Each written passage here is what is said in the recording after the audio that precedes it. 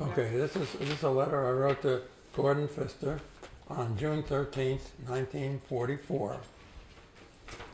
About a week ago, I started out to dispose of a pile of ten letters in my unanswered cubbyhole.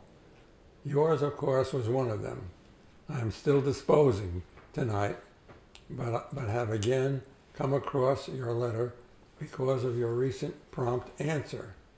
That is the story behind this prompt reply of mine. Was glad to be able to contribute to the loyalty fund and to keep things going and to be able to feel in a tiny way that I am repaying a minute fraction of what Berg has done for me.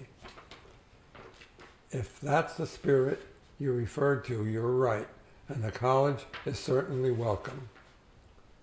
Uh, you didn't mention whether my pledge would be included in the fund or not, even if it comes after June 30th, but I'm afraid the money won't go astray whenever I send it, as I'll follow the original plan I had of taking the balance out of my next month's check and sending it then. Also want to thank you for a stationery refill. I don't have to tell you how good it is or how much we appreciate it anymore. You can probably almost hear it every time you see a letter written under the good old plaster Pete figures. Is that blasphemy? See what a young tradition will do? Uh, loads of thanks for the addresses of the boys. I don't know if I can get a rise out of all of them, but I might try. While I hate to keep bothering you, I notice you have once again established contact with Chuck Burrell and would appreciate his address. Had I told you of my acceptance for internship at the Newark Beth Israel Hospital?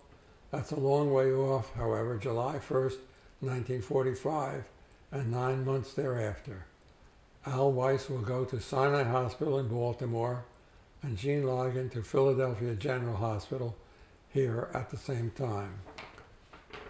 We are getting a furlough, summer vacation as it were, of two weeks from July 1st to 15th, and it will be a welcome respite from this uh, heat, but only means coming back to more heat after it.